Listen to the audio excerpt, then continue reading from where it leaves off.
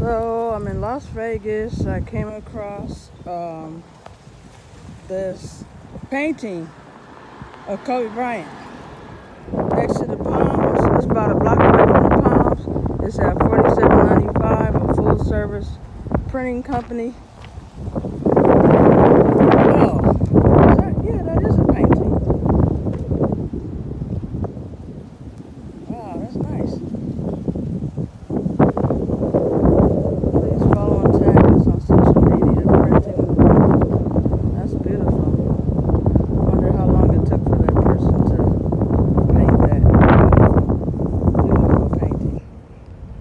Rest in peace, Kobe and Gianna Bryant.